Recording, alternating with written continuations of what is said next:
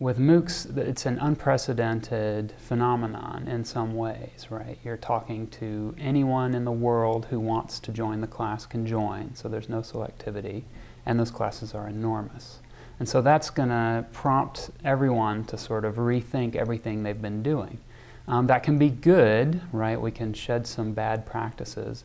But I think there's a real danger that it could be bad because there's a really strong tradition of uh, academic freedom in the classroom.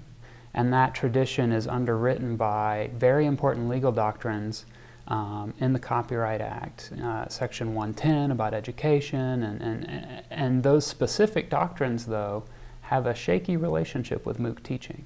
Um, but one doctrine that does not necessarily, or shouldn't, in my view, have a shaky relationship with MOOCs is fair use. And so, my message uh, as I'm talking to Dartmouth uh, today is going to be that you should take those fair use rights very seriously and assert them as clearly uh, and coherently and as soon as possible so that as the MOOC phenomenon evolves, those rights aren't eroded.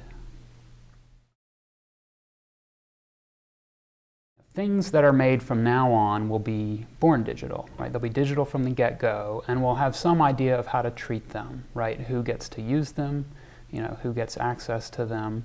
Um, yeah, yeah we'll have some idea, at least a clearer idea, but there are millions upon millions of objects in library collections that were created before the advent of digital technology and whose creators are gone.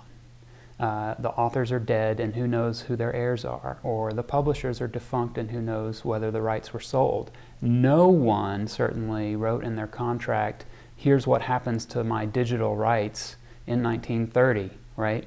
Um, and so here we are with this stockpile of really interesting stuff, and it is pre digital, and the rights situation is completely vexed. And yet, to make all that stuff comprehensible, accessible uh, to modern research tools and to modern researchers who want not only to access in the sense of like I want to just read the thing even though I'm not in town, right?